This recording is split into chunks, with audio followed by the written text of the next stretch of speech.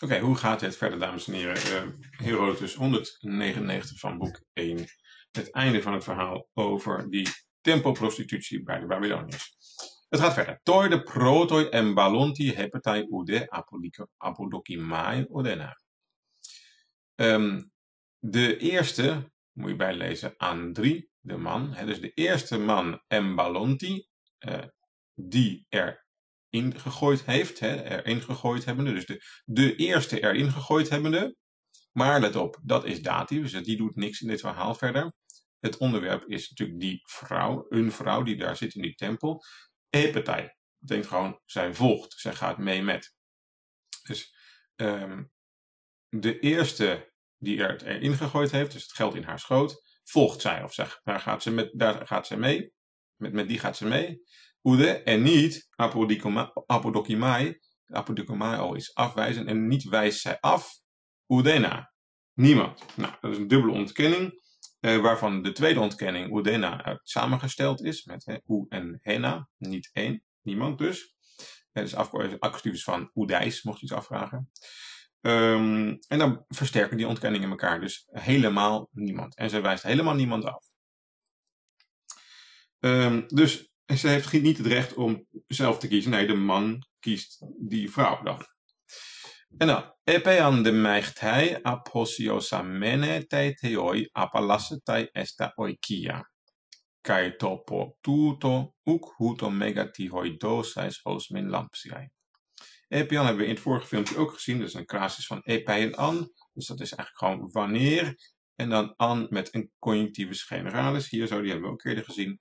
Um, van de aorist is uh, passief van mij nu mai. Dat is gewoon uh, naar bed gaan met. Dus wanneer zij naar bed, naar bed is gegaan, met die man natuurlijk, hè, wanneer, wanneer ze dat, uh, dat gedaan heeft, dan ab alassetai esta eukia, dan gaat ze weg naar haar huis. Dat zagen we ook al eerder.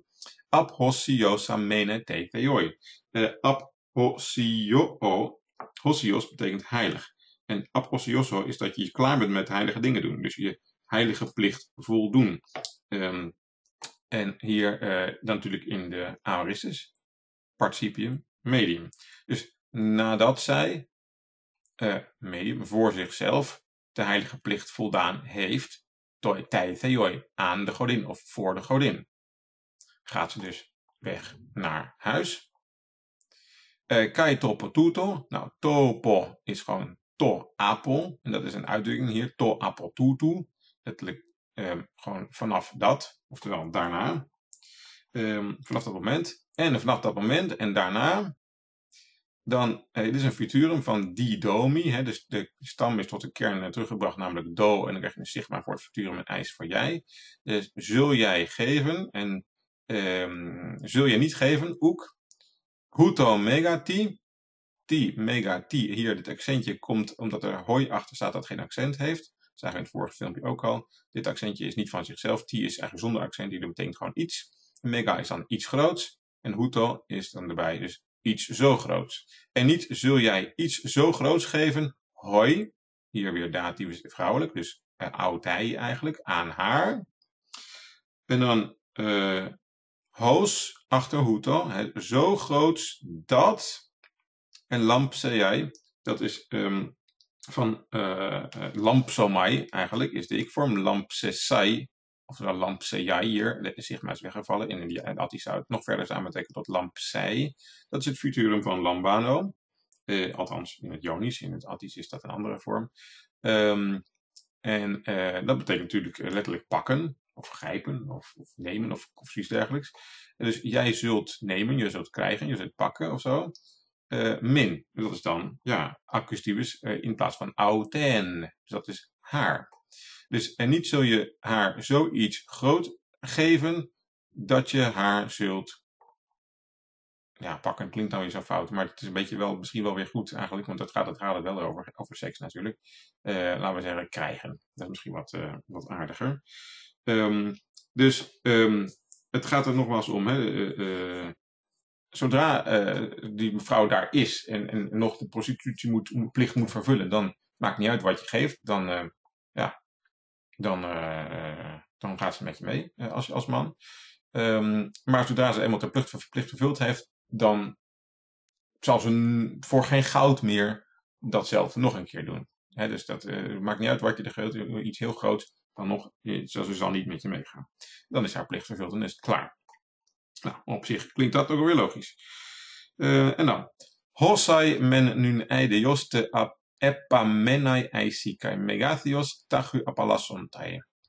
Oké, nu krijgen we natuurlijk weer, net als in de vorige verhalen, twee soorten vrouwen. Um, namelijk de knappen en de minder knappen. Hosai uh, in betekenis zoiets als zoveel als. Of zij die. Laten we dat zij die maar nemen. Zij die uh, ep amenai eisen van uh, ep haptomai, uh, letterlijk aanraken. hier letterlijk zoiets als aangeraakt, ja niet zijn, het is medium, het wordt van een medium bedoeld, eigenlijk meer zoiets aangeraakt hebben, maar hier in de betekenis weer in het bezit zijn. Dus zij die in het bezit zijn van, en dan krijg je een twee genitivi, namelijk van eideos, en dat is gewoon schoonheid, kan je megatheos, en dat betekent gewoon grootheid letterlijk, maar bedoeld is natuurlijk een zekere omvang, dat ze niet al te klein zijn of zo. Um, zoveel als nu zij die nu uh, dus in bezit zijn van uh, schoonheid en ook van uh, ja, enige omvang. Wat doen die? Appalasontai, die gaan weg, hè, dat hadden we hier ook al, die gaan weg. Tagu, snel, die gaan snel weer weg. Waarom? Dat is natuurlijk snel uitgekozen worden, omdat heel veel mannen dan blijkbaar met haar wel naar bed willen. Uh, omdat hun naar naar bed willen. Um, en ze kunnen we snel weer naar huis. Uh, hossai de, hier hossai men en hossai du. Maar zij die amorphoi eisi auteon. Maar zij die uh, ja, niet knap, oftewel lelijk zijn, auteon van hen. Het is geen typisch meervoud vrouwelijk, auton. Maar zij van hen, of diegene van hen die lelijk zijn, die pros menusi, die wachten Chronon polon. Veel tijd, lange tijd. Hoe dynamenai. Dynamai is gewoon kunnen. Hier is gewoon participum presens. Niet kunnende. Oftewel omdat ze niet kunnen. Wat dan? Tommen Het gebruik. Eh, of de wet of de plicht hier misschien bedoeld. Ek plesai.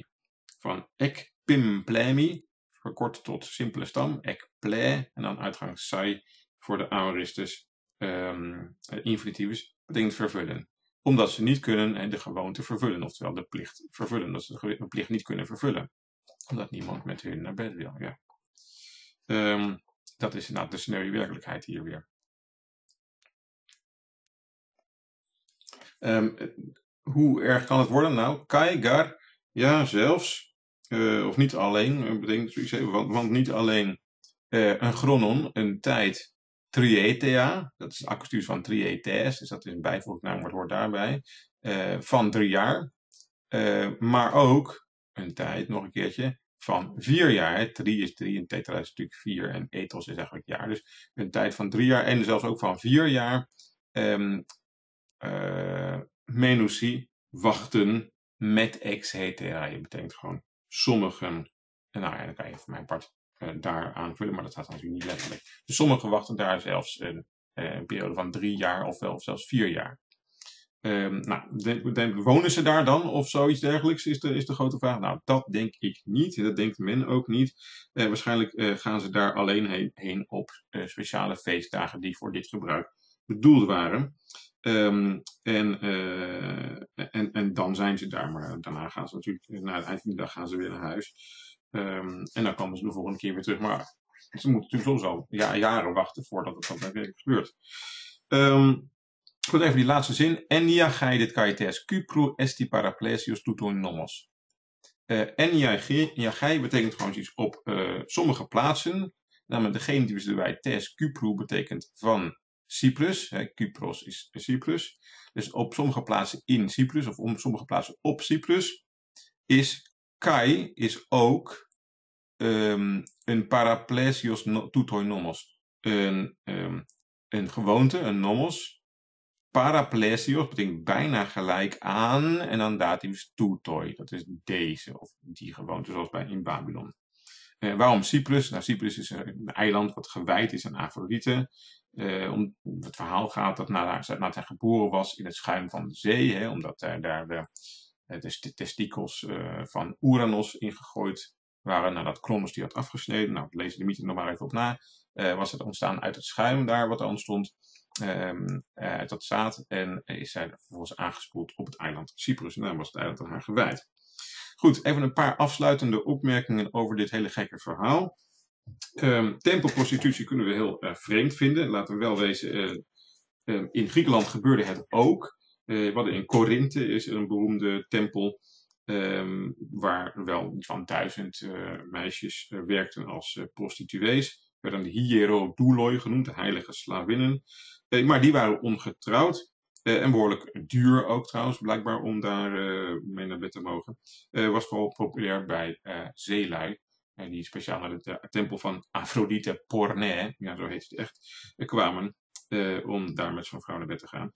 maar die priesteressen, ze waren ook soort van heilige priesteressen eigenlijk, maar dan als slavinnen. Um, die waren ook wel weer enigszins geëerd in, dat, in die streek. Um, deze eh, gewoonte hier zo in Babylon was wel behoorlijk on-Grieks, omdat het ja, getrouwde vrouwen betrof. En de Griekse mannen die beschouwden natuurlijk hun echtgenoten als een soort eigendom bijna. Die vrouwen die bleven bijna altijd thuis, als ze tenminste een beetje een rijke soort waren. Die arme vrouwen moesten op het land werken en zo, maar de rijke vrouwen dat hoefde dus niet. Werden echt apart gehouden van andere mannen. En dat gebeurde hier natuurlijk niet. Um, en daarom vond uh, Herodotus deze gewoonte ook echt aisristos, echt zeer uh, schandelijk. Ook omdat het zo groot, grootschalig, grootschalig plaatsvond. Hè. Prostitutie zelf is niet schandelijk, maar van getrouwde vrouwen natuurlijk wel. En is ik als het echt een gewoonte is. Als je dit dan vergelijkt met die huwelijksmarkt, die waar hier over, hier, het voorafgaande hierover is, natuurlijk um, ja, je kunt zeggen dat was de beste gewoonte en dit is de schandelijkste gewoonte, maar er zijn wel degelijk overeenkomsten. Ik weet niet of je het al gezien hebt. Maar goed, die vrouwen geen keus. Dat is natuurlijk eh, een overeenkomst in heel veel verhalen in de oudheid, maar dat is hier weer zo. Um, die man die, die kiest die vrouw in de huwelijksmarkt, of die koopt, uh, sorry, kiest die, uh, ja, die koopt die vrouw eigenlijk daar. En hier kiest hij ook een vrouw uit. Um, en ook een aspect wat allebei de verhalen voorkomt, is dat de schoonheid van die vrouw, die betreffende vrouw, bepalend is voor ja, wat er met haar gebeurt. Hè? Met welke man ze dan meegaat en, en, hoe snel het ook gaat. Dus um, het, is, het geeft stof tot, tot nadenken, zou ik maar zeggen, dit, dit soort verhalen. Nou, um, wel interessant om naar te kijken, denk ik.